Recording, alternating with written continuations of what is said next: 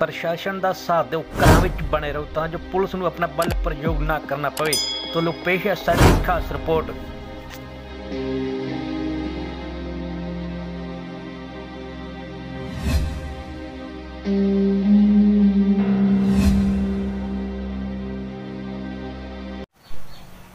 NNR news ਦੇਖ ਰਹੇ ਸਾਰੇ ਦਰਸ਼ਕਾਂ ਦਾ ਸਵਾਗਤ ਹੈ। ਇਸ ਵਕਤ ਦੀ ਮੈਂ ਇੱਕ ਵੱਡੀ ਅਪਡੇਟ ਲੈ ਕੇ ਹਾਜ਼ਰ ਹਾਂ। ਬਲਦੇਵ ਸਿੰਘ ਪਠਲਾਵੇ ਵਾਲਾ, ਜਿਸ ਦੀ ਕਰੋਨਾ ਵਾਇਰਸ ਦੇ ਕਾਰਨ ਮੌਤ ਹੋ ਗਈ ਸੀ।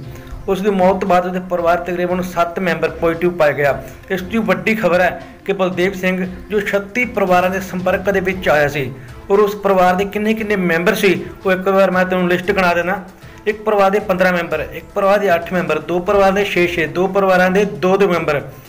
ਤਕਰੀਬਨ ਜੋ ਟੋਟਲ ਅੰਕੜਾ 200 ਦੇ ਕਰੀਬ ਹੋ ਜਾਂਦਾ ਹੈ।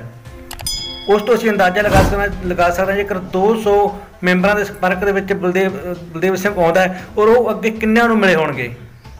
ਇੱਕ ਵੱਡਾ ਖਤਰਾ, ਇੱਕ ਵੱਡਾ ਚਿੰਤਾ ਦਾ ਵਿਸ਼ਾ ਹੈ। ਇਸ ਲਈ ਸਾਰੇ ਸਰਕਾਰ ਹੈ ਮੀਡੀਆ ਤੁਹਾਨੂੰ ਰੋਲਾ ਪਾ ਰਿਹਾ ਕਿ ਘਰਾਂ ਦੇ ਵਿੱਚੋਂ ਬਾਹਰ ਨਾ ਨਿਕਲੋ। ਜੇ ਤੁਸੀਂ ਬਾਹਰ ਨਿਕਲੋ ਤਾਂ ਆਉਣ ਵਾਲਾ ਸਮਾਂ ਕਾਫੀ ਜ਼ਿਆਦਾ ਭਿਆਨਕ ਹੋ ਸਕਦਾ ਹੈ। ਕਰੋਨਾ ਜੋ ਵਾਇਰਸ ਦੀ ਬਿਮਾਰੀ ਹੈ, ਹੋਰ ਵੀ ਅੱਗੇ ਫੈਲ ਸਕਦੀ ਹੈ। ਇੱਕ ਵੱਡੀ ਅਪਡੇਟ ਲੈ ਕੇ ਮੈਂ ਹਾਜ਼ਰ ਹਾਂ ਔਰ ਇੱਕ ਬੇਨਤੀ ਰਿਕੁਐਸਟ ਵੀ ਹੱਥ ਜੋੜ ਕੇ ਕਰਦਾ ਘਰਾਂ ਦੇ ਵਿੱਚ ਬਣੇ ਰਹੋ। ਘਰਾਂ ਦੇ ਵਿੱਚੋਂ ਬਾਹਰ ਨਾ ਨਿਕਲੋ ਤਾਂ ਜੋ ਮਾਹੌਲ ਸਖਾਵਾ ਬਣੇ। ਕੋਈ ਐਦਾਂ ਦੀ ਸਥਿਤੀ ਨਾ ਪੈਦਾ ਹੋ ਜਾਵੇ, ਜਿਸ ਤੱਕ ਮਾਹੌਲ ਹੋਰ ਖਰਾਬ ਹੋ ਜਾਵੇ, ਕਿਉਂਕਿ ਸਾਡੇ ਕੋਲ ਤਾਂ ਇਹਨੇ ਹਸਪਤਾਲ ਵੀ ਨਹੀਂ ਹਨ, ਅਸੀਂ ਕਿੱਥੇ ਕਿੱਥੇ ਦਾਖਲ ਹੋ ਪਾਵਾਂਗੇ।